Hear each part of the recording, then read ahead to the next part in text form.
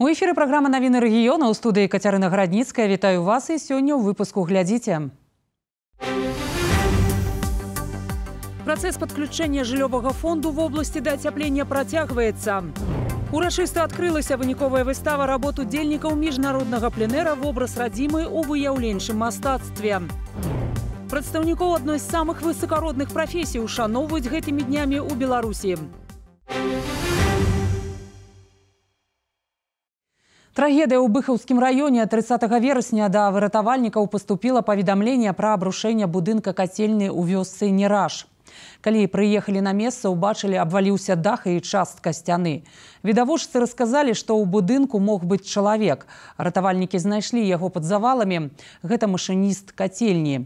Медыкі ўстанавілі смерць мужчыны, прычына абрушэння высвятляецца. Як паведамілі ў раёне, ад неражскай кацельнай ацяпляўся клуб і фаб. І як паведаміў начальнік абласнога ўправлення ЖКГ Михаил Сухараў, на працягу сутак сюды будзе дастаўлена перасовачная кацельня, якая забяспечыць аб'екты цяплом.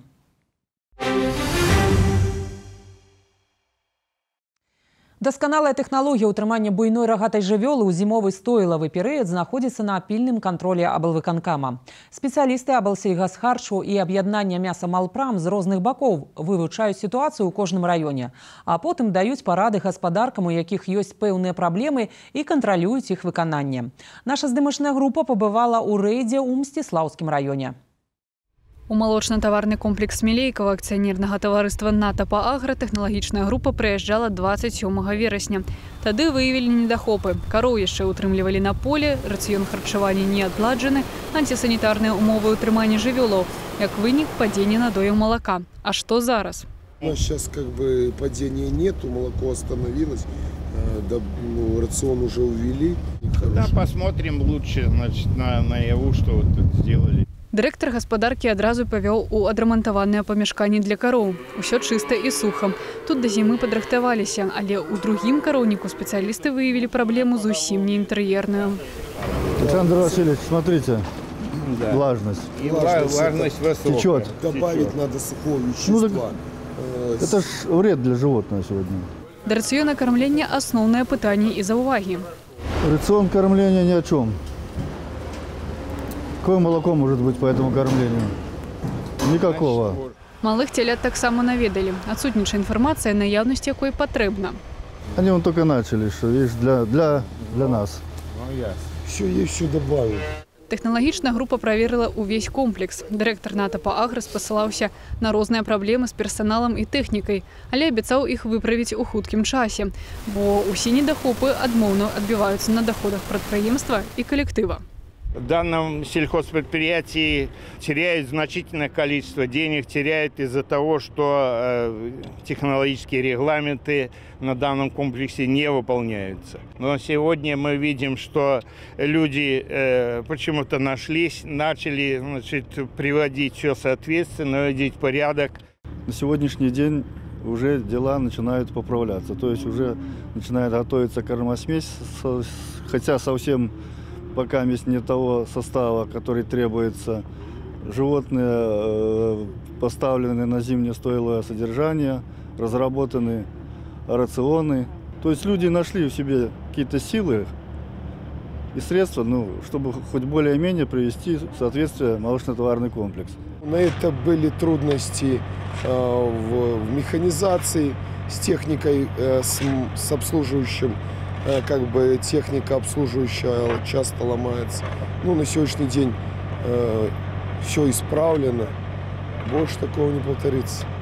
Сітуацыю трымаюць на кантролі ў аблвыканкамі і не толькі ў гэтай гаспадарцы. Тэхналагічная група неаднойчы была ў гаспадарцы Хоцімскі тэхнакомплекс, дзе па словах спецыялістаў сітуацыя была горш, чым у Мілейкава. При посещении сегодня Хотимского технокомплекса замечания устра- устранены, будем говорить, незначительные. Э, Сегодня только, только планируется поставить гурт коров в помещение и доить его помещение. Еще в эту ночь оно находилось на круглосуточном содержании.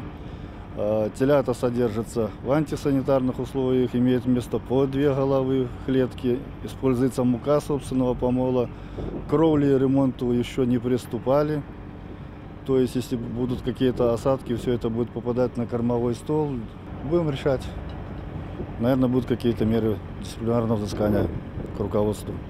Тэхналагічныя групы наведваюць праблемныя гаспадаркі і не для таго, каб пакараць, а каб вылучаць недахопы і дапамагчы правільна падрыхтавацца да зімняга перыяду, захаваць статак і малако. Металіна Петрусевич, Александр Тарасов, навіны рэгіёна.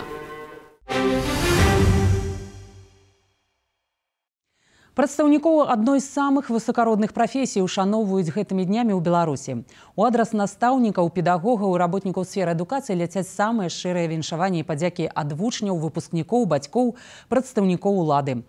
На Магілёўшчыне ва ўстановах адукацыі працуюць каля 12 тысяч 400 настаўнікаў і болей 80 процентаў гэта жанчыны. Прыкладна столькі ж з іх маюць стаж работы болей 15 год. І цяжка перацаніць працу тых, хто абраў сваім лёсам вучыць дзяцей і дапамагаць ім стаць годнымі людзьмі. Старшыня магілёўскага абалвыканкама Анатолій Саченко павіншаваў дынастыю настаўнікаў, якія навучаюць дзяцей у чавускім раёне. Калі скласці педагагічны стаж усіх сваякоў, то атрымаецца 210 гадоў працы з дзецьмі. На святочнай сустрэчы з Анатолем Ісашенко сям'я Тамары Сцепановны Мардачовай. Яна 47 год аддала настаўніцтву. З іх 35 год працавала ў Чаўскай сярэдняй школе нумар 2, якую скончыла ў 1967. Учителем может быть только тот человек, у кого есть призвание. Я с детства мечтала стать учителем, моя мама мечтала об этом, мой дядя тоже был учителем вот, до войны. И поэтому это был зов как бы крови. На цёплай сустрэчы з кіраўніком вобласці мовілі пра развіццё адукацыі, бо у кожнага з гасцей вялікі педагагічны вопыт. Сын Тамары Сцепановны Віталь трэніруе маладое пакаленне, а пляменніца вучыла дзяцей нямецкай мове. Зараз развівае таленты ў цэнтры дадатковай адукацыі. Работа с детьми – это удовольствие. Особенно, когда дети понимают тебя, когда находишь с ними общий язык, приятно. Цель какая? Добиться, чтобы все дети, которые проходят обучение в данном центре у меня сейчас и, в принципе, в школе, чтобы они овладели теми навыками, которыми в свое время обладали мы. А это терпение, умение, вежливость, тактичность, труд – У Чавускай сярэдняй школе нумар 2 навучаецца і праўнучка Тамары Сцепановны Яўгенія. А ўнук летась паступіў у мінскі педагагічны універсітэт. Асабісты гонар вучні, якія сталі настаўнікамі-лінгвістамі. Они работают сейчас в школе, у нашей школе, в средней школе номер два, в средней школе номер один, на селе. И я очень горжусь этим. Як прагучала на сустрэчы, добрыя настаўнікі патрэбны ўсюды, асабіста на малой радзіме, дзе нарадзіўся і жывеш. Сергей Пеклін, Дзяніс Жавіна, навіны рэгіёна. У Магілёўскай вобласці ўшанавалі лепшых настаўнікаў рэгіёна. Сустрэча сабрала каля 600 чалавек, якія паспяхова рыхтавалі дзяцей да алімпіяд і конкурсаў ветэранаў адукацыі. Сваёй працай і стараннямі гэтыя людзі дапамагаюць моладзі развівацца. С этим праздником у меня связана практически вся жизнь. 26 лет я работаю в системе образования. На сегодняшний день возглавляю учреждение образования Череповский государственный профессиональный лицей номер 11. И в преддверии этого праздника мне бы хотелось поздравить всех учителей, но в первую очередь своих коллег, потому что это в этом году нашему учреждению 45 лет. Я прекрасно помню своих учителей. Это замечательные люди, которые дали мне путь в жизнь, наставления, учения, помогали мне, конечно, безусловно, определить себя в жизни. Конечно, мы всю жизнь благодарны своим учителям.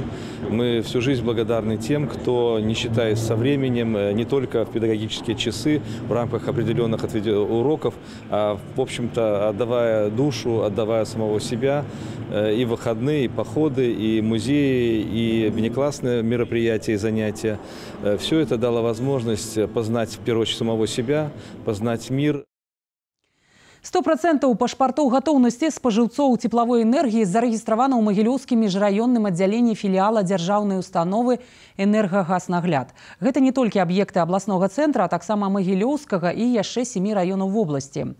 Так па магілёўскім аддзяленні рэгіструюць пашпарты гатоўнасці 1912 спажыўцоў цеплай энергіі і 594 цеплакрыніцы. Па магілёўскай вобласці абследавана каля 7 тысяч аб'ектаў спажыўцоў цеплай энергіі. Як азначаюць спецыялісты аддзялення філіяла дзяржаўнай установы энергагазнагляд, на ўсіх названых аб'ектах паспяхова справіліся з работамі па падрыхтоўцы да асенне-зімовага перыяду. Такая эффектыўнасць стала магчымай і за кошт таго, што згодна з распараджэннем абалваканкама спажыўцы цеплавой энергіі абавязкова ўзгадняюць з філіялам дзяржаўнай установы энергагазнагляд свае мерапрыемствы па падрыхтоўцы да ацяпляльнага сезону. А значыць, інспектары маюць магчымасць прааналізаваць стан цеплавога і электрычнага абсталявання канкрэтнага спажыўца і параіць уключыць у спіс абавязковых мерапрыемстваў.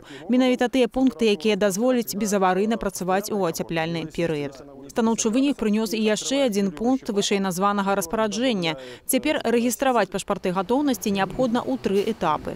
Такі падыход дазволіў энергагазнагляду больш планамерна размеркаваць удзел у камісіях па праверцы гатоўнасці спажыўцоў да ацяпляльнага сезону і больш увагі надаць праблемным пытанням. У выніку да 10 ліпеня 30% спажыўцоў і цеплакрыніц атрымалі пашпарты гатоўнасці. Першага жніўня названая лічба дасягнула 70% і ўжо ў верасні ў магілёўскім міжраённым аддзяленні філіяла дзяржаўнай установы энергагазнагляд было зарэгістравана 100% пашпартоў гатоўнасці спажыўцоў цеплавой энергіі. Спецыялісты філіяла дзяржаўнай установы энергагазнагляд нагадваюць, што толькі пасля атрымання пашпарта гатоўнасці спажывец цеплавой энергіі мае права на ўключэнне адпаведных сістэм з пачаткам ацяпляльнага перыяду. Працэс падключэння жыллёвага фонду в обласці да ацяплення працягваецца. Першымі далі цяпло бабруйскі і бабруйскі раён. Нагадаем, што кожны райвыканкам самастойна прымае рашэнне аб пачатку ацяпляльнага сезона жыллёвага фонду пасля сінаптычнага аналіза. І на сам працэс падключэння адводзіцца некалькі дзён. Сваі пытанні па падключэнні цяпла можна будзе задаць жыллёва-камунальнай гаспадарцы райвыканкаму ў панядзелак 3 кастрычніка з 8:00 до 19:00. Таксама ў не нерабочы час можна звяртацца ў службу 115. Выніковая выстава работ удзельнікаў міжнароднага пленэра вобраз радзімы ў выяўленчым мастацтве урачыста адкрылася ў магілёўскім абласным мастацкім музеі імя Паўла Масленікава. Свае карціны магілёўскай публіцы прадставілі 18 мастакоў сямі краін.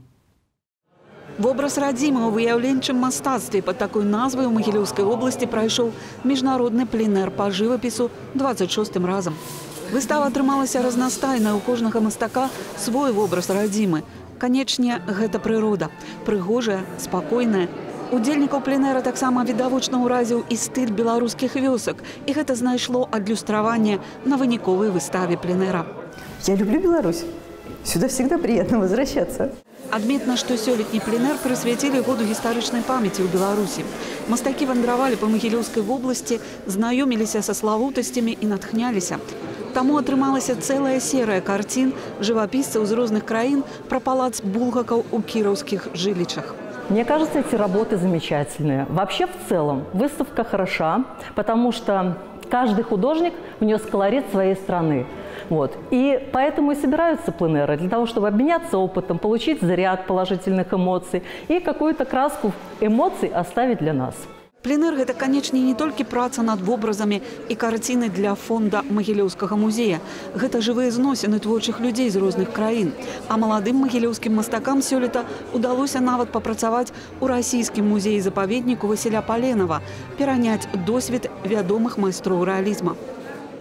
Дыалог культур и пераемнасць поколению – это вельми важно для магілёўскага пленэра. И вот в этом плане, наверное, пленэр не имеет э, ни начала, ни конца, потому что как нет, не имеет начала и конца само изобразительное искусство. На ўрачыстым адкрыцці выставы і завяршэнні пленэру яго ўдзельнікі атрымалі дыпломы і падарункі. Мастакі спадзяюцца на новыя сустрэчы ў Магілёве, а ўдзельнікам будучых пленэраў добрыя пажаданні. Чтобы больше дублево относились до нашего народа, на нашей земле, до нашей спадчыны. И тогда все атрымаецца. За 25 гадоў правядзення пленэру больш за паўтысячы мастакоў з 37 краін стварылі на Макілеўшчыне свой вобраз радзімы. Ілона Іванова, Юра Уласцоў, Віталій Алексеенко, навіны рэгіёна. Вільготнае надвор'е прагназуюць сіноптыкі на наступныя суткі. Увогуле выхадныя і пачатак наступнага тыдня будуць дажджы. Так што будзе мокра, але даволі цёпла да плюс 17 ў дзень па рэгіёне. А па Магілёве да плюс 15. Самыя актуальныя навіны нашай вобласці на нашым сайце і ў тэлеграм-канале Беларусь шатары Магілёў далучайцеся, а таксама глядзіце нас у сацыяльных сетках. А я з вами развітваюся, дзякуй за ўвагу і да сустрэчы. Thank you.